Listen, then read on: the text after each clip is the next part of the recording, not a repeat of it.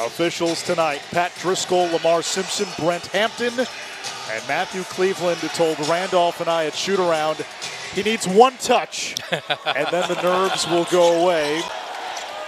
Miller and Omier on the perimeter. And the three good for Wooga Poplar, who might be the most improved player in this league. It's tipped around, and Green, Darin Green, corrals the board. Green with his second three.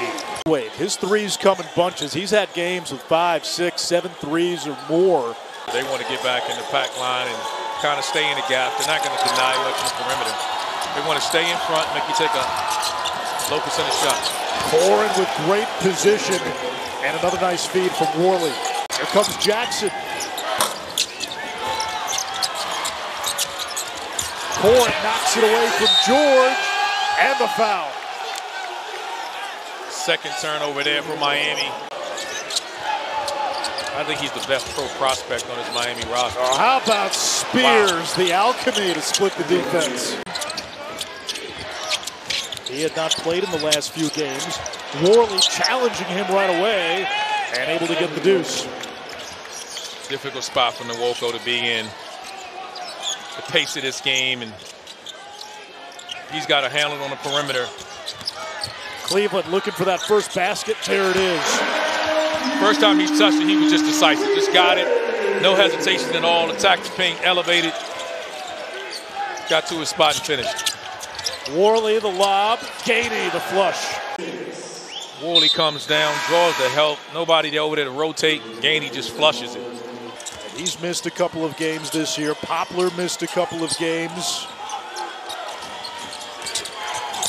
Watkins down the lane. Corhen to finish. Cleveland comes up with it. Here's Cleveland ahead of the pack all the way. Off balance. It spins out. Nwoko, the putback, and the foul. Joseph has struggled from behind the three-point line. Omier with a nice pass, but Poplar could not finish. And Florida State looking to push. Miller using the window. Wow, that is scary. I think Nijel Pack needs to pick his matchup on the switch and get to the rim. Just like that. Wooga Poplar with a chance at a three-point play. Just turn the corner there, get down, get deep, get put pressure on the paint, get in the. You got a team like Florida State, which had some ugly losses in non-conference, including Lipscomb.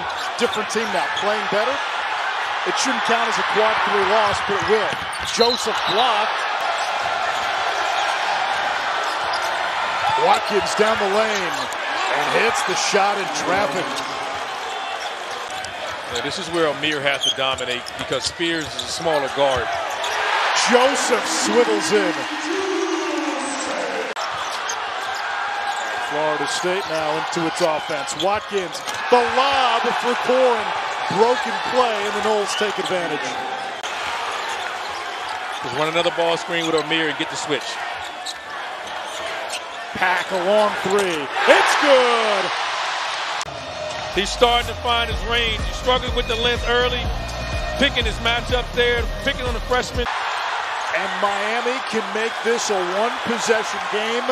They trailed by as many as 16. Long three. Good!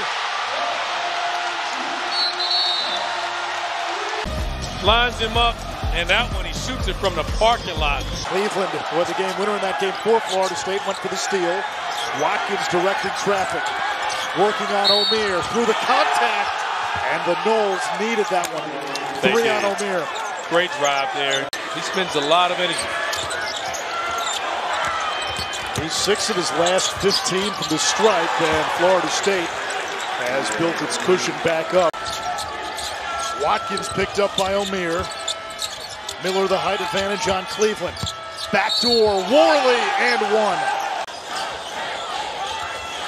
The Noles, though, have been better from the line in conference play. Pack from deep. His third three.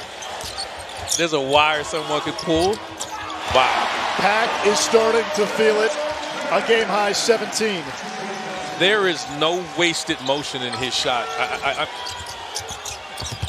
Joseph underneath. Omier the flush. It's a great pass and great find there. I thought Bob, nice drop off, and you see the hand in the back there. Fisher didn't see it.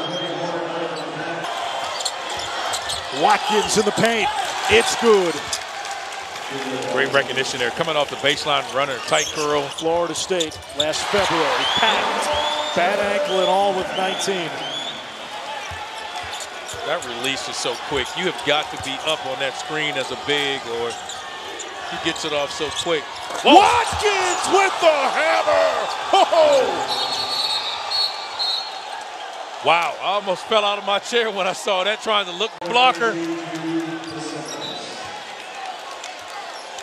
Norchad Omier had a double-digit halftime lead, a double-digit second half lead, and the Seminoles get their sixth straight win here in Coral Gables.